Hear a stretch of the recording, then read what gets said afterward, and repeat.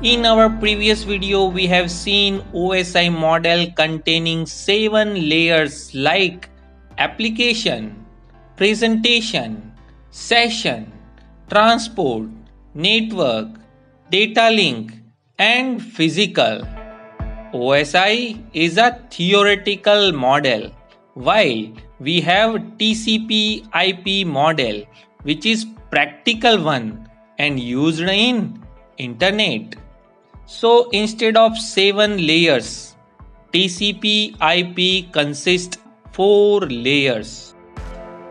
The application layer in TCP IP model is combination of application, presentation and session. Therefore, it is also handle presentation of data and managing the session.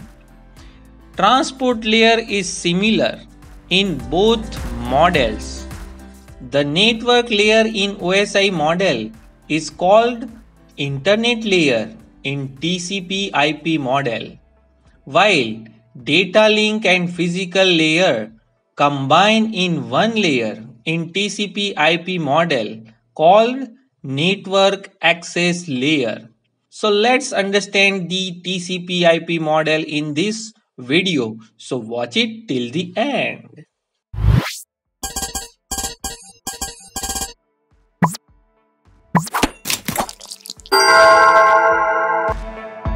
Here in TCP IP model, we have four layers.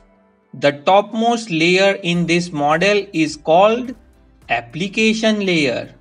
This layer is responsible for handling high level protocols and it deals with issues of representation.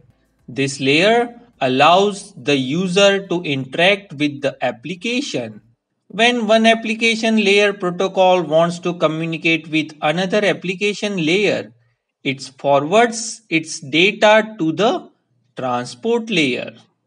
Various protocols are used in application layer like HTTP to access the data over the World Wide Web, SMTP for email transfer, SNMP for managing the devices on the internet, FTP for transmitting the files from one computer to another computer, DNS maps the name to address. Telnet for connection between the local computer and remote computer. Second layer in TCP IP model is transport layer. The transport layer is responsible for reliability, flow control and correction of data which is being sent over the network. We are using two protocols in the transport layer like User Datagram Protocol UDP and Transmission Control Protocol TCP. UDP provides connectionless services and end-to-end delivery of transmission. It is unreliable protocol. UDP does not tell about lost packets. On the other hand, Transmission Control Protocol or TCP establishes virtual circuit between the sender and receiver and it is active for the duration of transmission. TCP is a reliable protocol. Therefore, it ensures all the segments must be received and acknowledged. At sender, TCP divides the whole message into smaller units known as segment and each segment contains a sequence number which is required for reordering the segments to form an original message. At receiver, TCP collects all the segments and reorder them based on sequence numbers and get whole message back. Next to this we have internet layer. An internet layer also known as network layer which is responsible to send the packets from any network to the destination irrespective of their routes.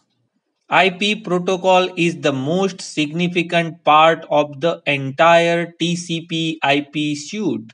IP protocol is responsible for IP addressing, host to host communication, data encapsulations and formatting, fragmentations and reassembly, and routing by which the IP datagram pass through various devices such as routers when your destination is on distance network.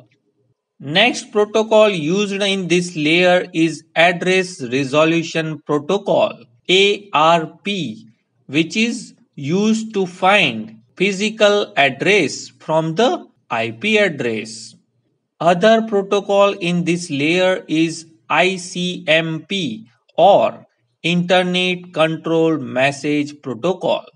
ICMP is used to give information about the any problems occur during transmission back to senders when datagram is undeliverable.